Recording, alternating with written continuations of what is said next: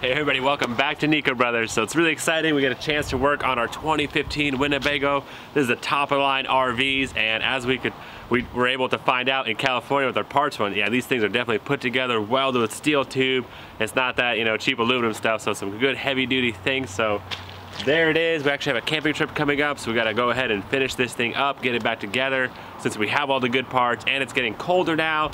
So we gotta beat the weather, beat the time, and get this thing done. So a lot of work ahead of us as you can tell, this thing is definitely a project. I'd say one of our biggest RV projects that we've done so far. We've done, we've done a good bit of RV projects from burnt to hit to front ends replaced. So just never a Winnebago before. So we kind of took one apart. We kind of know what's going on with them. A little better feeling, I would say. But yeah, check it out. The damages are severe on this side. Driver's side, not so bad, I would say. Engine hopefully is not touched because this I mean- thing does run and drive. Yeah. So that's good. Maybe a little bit of framework, hopefully, hopefully not. But look at this side, it's accordion in. I mean, this whole floor, Well, that's why we got the floor, because we needed the floor. right, and that's a steel tube, big old floor. I'm surprised it buckled like that, so that probably was a pretty good size hit on this side right here. So, Yeah. good thing we had the pieces though. So today's game plan, we got to take everything apart. We got to take the dash apart, the seats out, the carpet, and uh, start messing with the firewall. See if we got to pull that out. A lot of work ahead of ourselves, so we got to get straight to work and knock this thing out.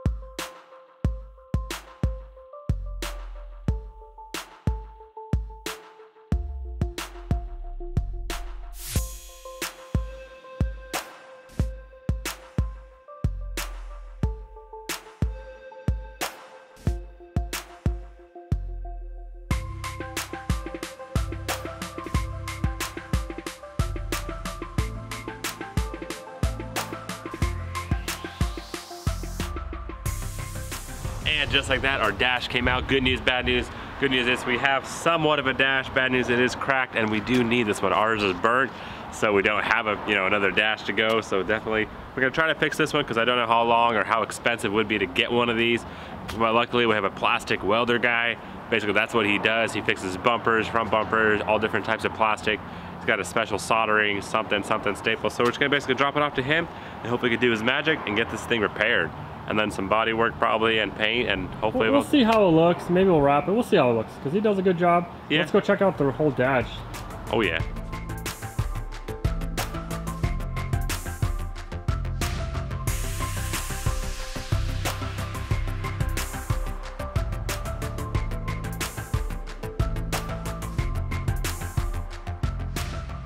All right, so we're gonna basically start peeling back the dash. You can see a frame that held the dash itself, it's kind of bent, but luckily we do have the metal structure behind it. And then just gonna keep digging into it and see what's broken, see what's not broken, see what we need to replace and what we need to take out. But luckily we have, most of the wires are there. It's kind of, kind of where it needs to be, honestly, not too bad. So I think once we get that frame off and see all the other hidden damage, but yeah, going right along.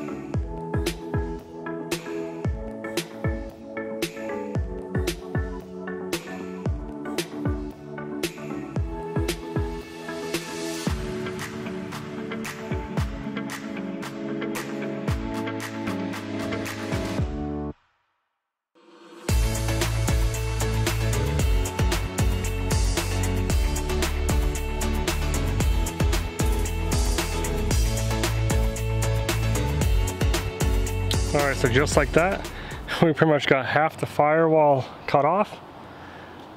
I mean, it was already broken, so it came out pretty easy, a couple more cuts. But the next thing I want to do is actually start working on the top because we got to check out the frame over there. And then we could probably work on the floor. So let's get this top piece off, take that all apart, figure out all these wires, and go from there.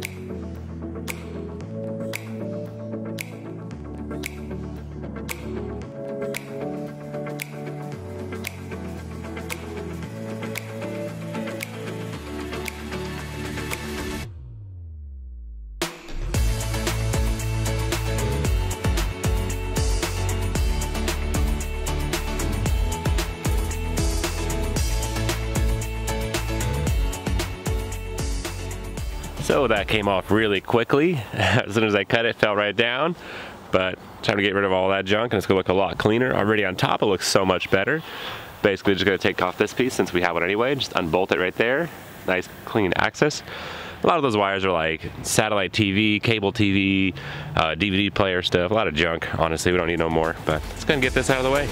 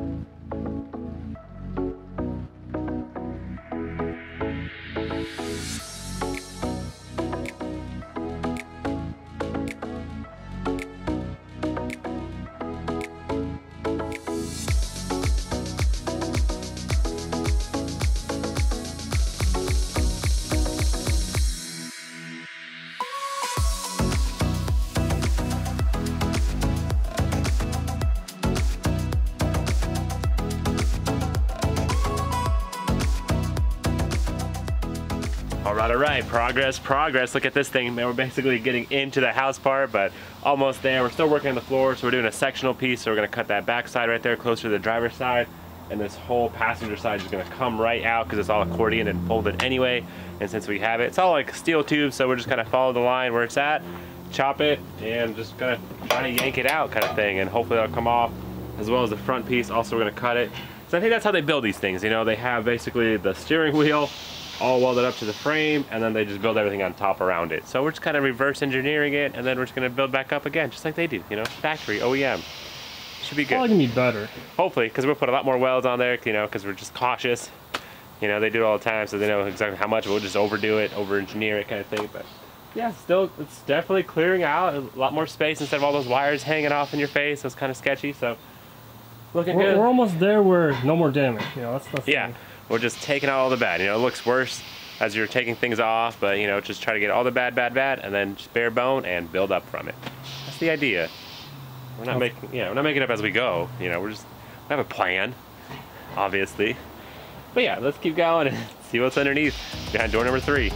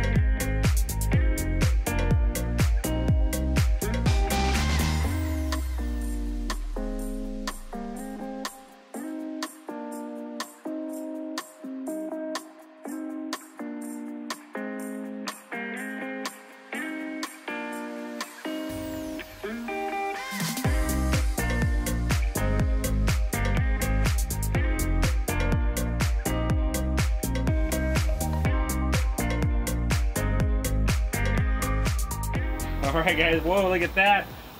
Passenger side floor is gone, popped right out. You know, just like a loose tooth, a little bit of wiggling, and yanked it right out. But yeah, the frame rail looks actually pretty straight back here. It's all sectional pieces, so butt up to that wall, and luckily we have that, so it shouldn't be a big deal. I mean, check it out. It's looking real good. We've seen some a little bit of cosmetic damage on the engine, maybe a little broken piece here and there, but we have a spare engine just in case. It might So should we do like an engine swap or? no, no, no. We're leaving that guy in there. It runs and drives. We're just gonna replace little things here and there. You know, this is the easiest way to work on an engine right now in an RV. So we have all the space. All right, so let's work on the front rebar.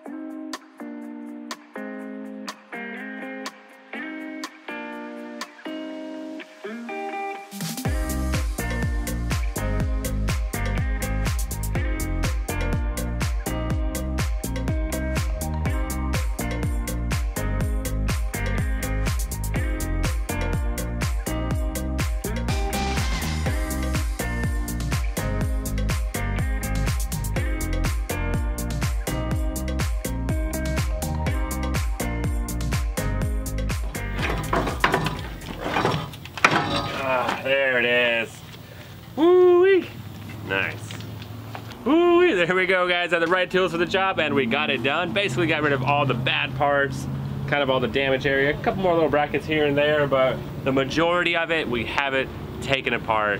Whew, that was definitely a good day's work.